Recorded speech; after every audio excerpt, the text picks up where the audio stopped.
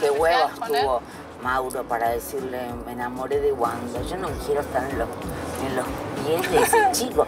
Escúchame, tan joven.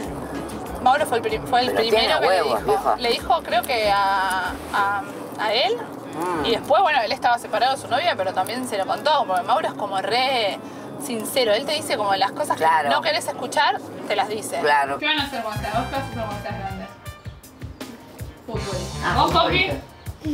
Futbolista. ¿Qué vas a hacer cuando seas grande? Futbolista. ¿También? ¿Y Benchu?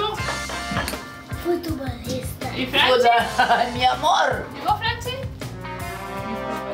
No, futbolista no va a ser una, una dama. Voy a hacer una bebita.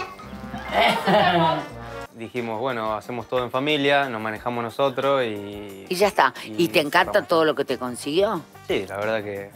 Y- Yo leí en un informe que vos al principio eras un jugador muy jovencito de 15 millones de euros y ahora son 250 Claro, cuando- millones de euros. Bueno, pero eso Cuando- fue a base de sus goles. Yo Bueno. no tengo nada que ver. No, pero